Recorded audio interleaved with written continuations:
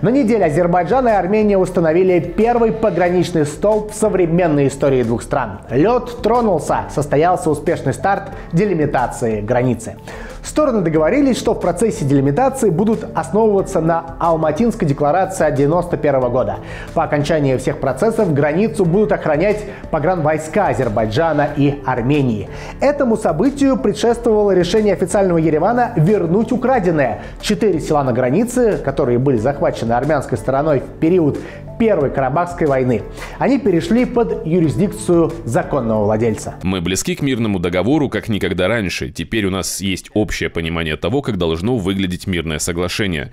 Нам нужно только обсудить детали. Обеим сторонам нужно время. У нас обоих есть политическая воля сделать это. Ильхам Алиев считает вполне реалистичным достижение мирного соглашения с Арменией до ноября этого года. По мнению президента Азербайджана, для этого надо работать от души. Достижение согласия между Азербайджаном Азербайджаном и Арменией до конференции по изменению климата COP-29, которая пройдет в Баку в ноябре, по крайней мере по базовым принципам, кажется вполне реалистичным. А в дальнейшем можно потратить время на детализацию положений. К тому времени проект соглашения может даже быть готов. Считаю, что для этого обе стороны должны просто работать от души. Российские эксперты настроены не столь оптимистично. Делимитация, демаркация границы – процесс долгий, трудоемкий и сложный. Да, границу можно чертить и после подписания мирного договора, но именно по пограничный вопрос остается самым сложным, способным сорвать прямые армяно-азербайджанские переговоры. Это работа трудная, нелегкая. Истории любого государства делимитация и демаркация у нас сопровождается иной раз и кризисами, и политическими, иногда и военными мы видим это. Сделать это в одночасье, к сожалению, не представляется возможным. И тут надо набраться обеим сторонам терпения. Эта демаркация будет сопровождаться тоже такими возможными подрывами. Мы уже это видим со стороны французов, немцев или американцев. Не верю ни одному слову, поэтому надо положиться на собственные усилия Азербайджана и Армении спокойно делать эту работу. Если же будут обращаться некоторые политики к тем людям э, или тем государствам, которые я назвал, то, значит, либо они не хотят проводить эту работу искренне и честно, либо они хотят с их помощью провести те самые силовые линии, которые все равно не будут справедливы и никого не устроят. Ну, во всяком случае, я вижу, что Азербайджан пытается честно эту работу проводить, без всяких обращений в этой работе каким-то там посредникам.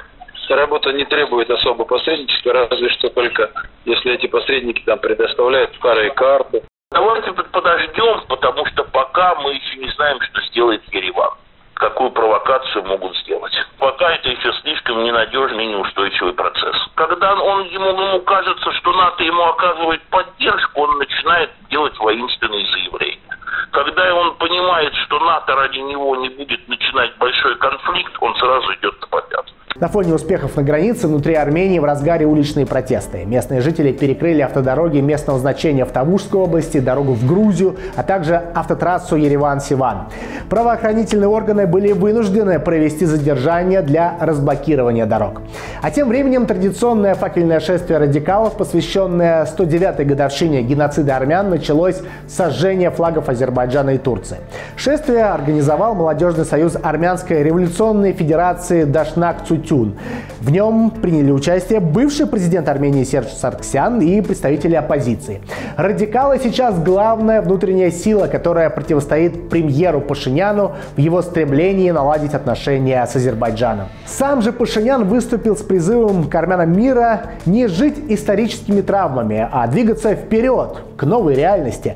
Пашинян дал понять, что долгое время Армения выстраивала отношения с другими государствами через призму прошлых обид и потрясений. Даже сегодня мы воспринимаем мир, окружающую нас среду, самих себя, под преобладающим влиянием душевного потрясения от геноцида, и мы не преодолели это потрясение. Это значит, что будучи международно признанным государством, мы часто строим свои отношения и конкурируем с другими странами и международным сообществом в состоянии душевного потрясения, и именно поэтому порой нам не удается правильно разграничивать реалии и факторы, исторические процессы и прогнозируемые горизонты. Еще один барьер на пути к мирному договору – транспортные коммуникации, которые Ереван пока не хочет разблокировать, несмотря на трехсторонние мирные договоренности. Зангизурский коридор не упоминается в трехстороннем заявлении, однако там прописано, что между восточной частью Азербайджана и Нахчеваном должно быть дорожное сообщение, контроль над которым должны обеспечивать российские пограничники.